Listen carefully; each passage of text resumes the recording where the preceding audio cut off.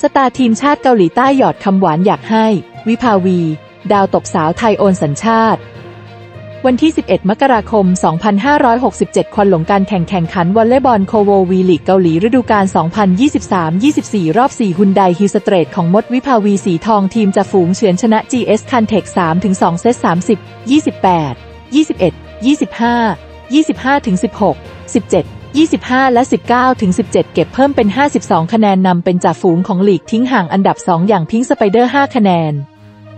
หลังจบเกมจองจียุนหัวเสาทีมชาติเกาหลีใต้ของฮุนไดฮิลสเตทออกมาพูดถึงวิภาวีสีทองหัวเสาวอลเลย์บอลหญิงไทย โดยระบุว่า언니 วิภาวี ฉันอยากให้คุณแปลงสัญชาติเป็นคนเกาหลีมันคงจะดีมากๆ แต่มันก็ยุ่งยากมากๆ ฉันได้เรียนรู้อะไรเยอะมากเวลาดูคุณเล่นหวังว่าในซีซั่นหน้าคุณจะอยู่กับเราที่ฮุนไดฮิลสเตท I love you ขอบคุณค่ะ